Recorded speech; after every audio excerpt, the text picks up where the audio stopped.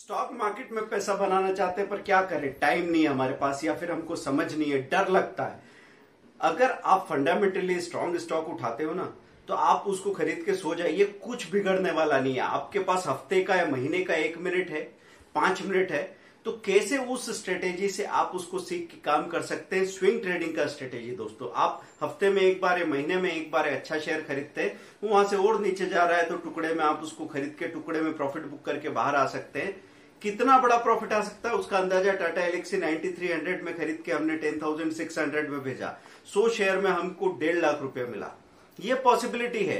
एक महीने में, ये तो चार दिन में हो गया था, एक महीने में अगर आप एक लाख रुपया बनाए स्विंग ट्रेडिंग से, ये पॉसिबल है। साल का दस लाख बनाए स्विंग ट्रेडिंग से पॉसिबल है। स्विंग ट्रेडिंग को सीखिए। समय या समय समझ की कमी से डरने की ज़रूरत नहीं है।